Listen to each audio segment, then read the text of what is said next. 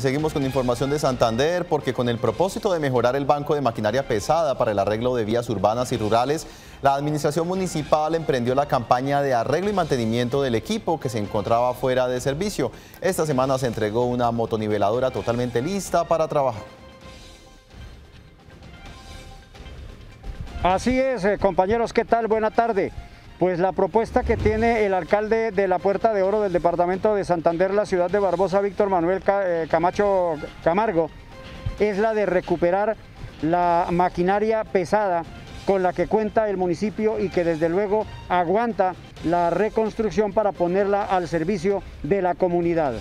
El equipo que por diversas razones se encuentra en desuso comenzó a ser rescatado y entregado para su restauración, mantenimiento mecánico y de pintura con el propósito de darle utilidad en la recuperación y mantenimiento de vías.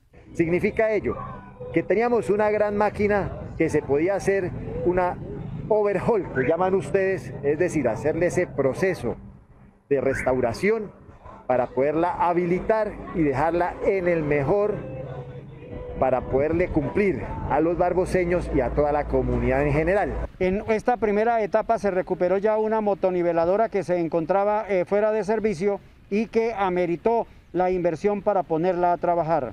Esta máquina queda a disposición de todos los barboseños para poder mejorar tanto las vías terciarias como las vías secundarias y adicional a ello las vías de nuestro municipio en el casco urbano.